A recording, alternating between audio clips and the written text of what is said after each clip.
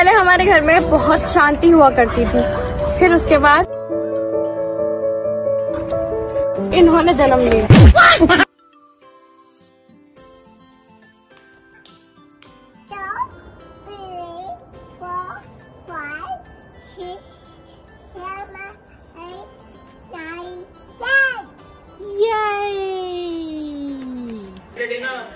ये कौन है?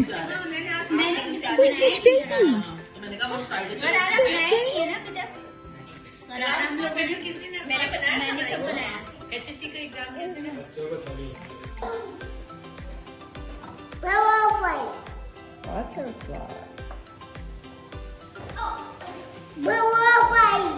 Color your button.